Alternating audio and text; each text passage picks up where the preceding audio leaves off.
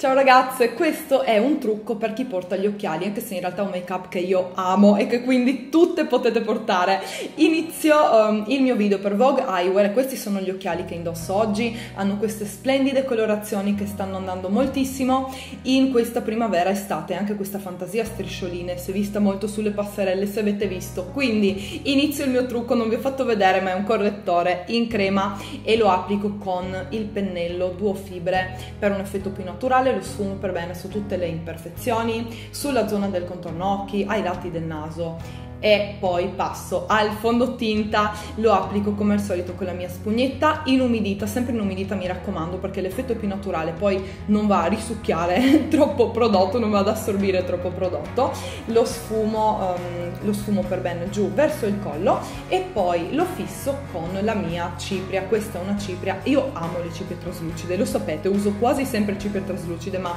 in estate ancora di più perché danno un effetto completamente antilucido, quindi sono perfette e poi primer, questo è il primer occhi, vado a picchiettarlo su tutta la palpebra. E poi passo agli ombretti, quello che uso è un ombretto molto chiaro e un illuminante perché um, con um, un trucco per chi porta gli occhiali gli, gli, ombretti scuri possono essere un pochino troppo esagerati, possono appesantire lo sguardo, quindi non userò colori troppo scuri e vado um, successivamente con un marroncino um, chiaro vado a segnare invece la piega per dare profondità allo sguardo e porto il marroncino fino all'inizio dell'occhio e poi anche verso l'esterno, sull'angolo esterno.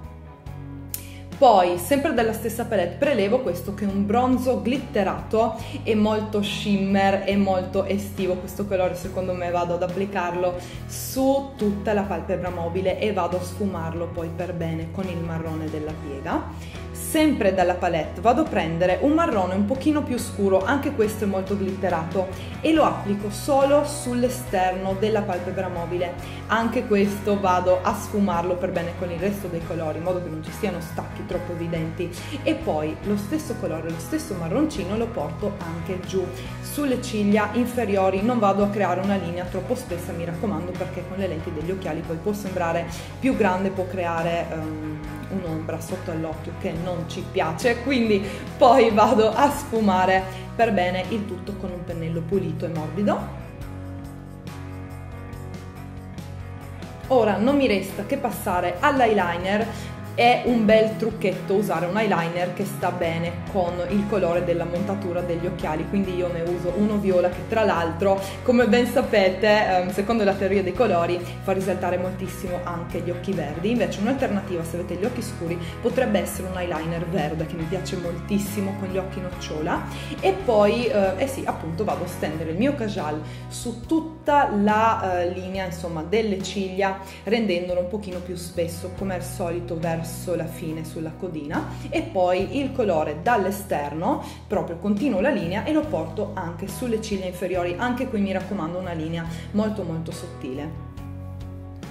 cerco di andare quanto più vicina alle ciglia possibile per non coprire il marrone e poi con il pennellino di prima vado e sfumo anche il cajal sempre verso l'esterno, verso l'alto. Poi passo alla matita nera, rigorosamente matita nera all'interno della rima perché um, usarne una viola potrebbe far sembrare il, um, gli occhi un pochino arrossati, quindi non mi piace mai usare matita viola all'interno dell'occhio e poi um, ho steso la matita nera anche sulla rima superiore, avete visto, e poi passo al mascara, lo stendo sulle ciglia inferiori, uh, non vado troppo abbondante, sempre per lo stesso motivo, perché con gli occhiali si potrebbe creare un'ombra un pochino troppo, um, troppo insomma pronunciata. E poi uh, ah, sulle ciglia superiori non ho applicato il mascara perché ho l'extension ormai mi sa che lo saprete tutte, ne parlo sempre. E poi um, vado a riempire le sopracciglia con una matita del colore appunto delle mie sopracciglia naturalmente. Vado a riempire tutti gli spazi um, vuoti.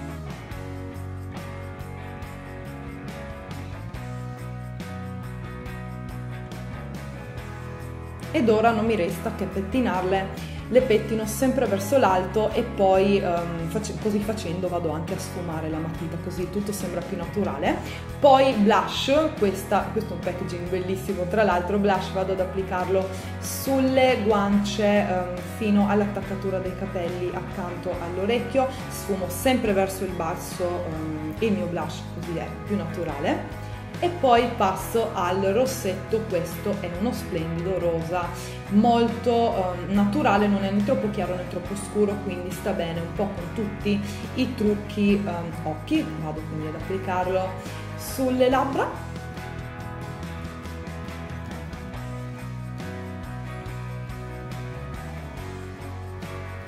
E voilà, questo è il nostro risultato finale, il nostro trucco per occhiali. Fatemi sapere nei commenti se vi è piaciuto. Mi raccomando, io vi mando un mega bacio. Alla prossima!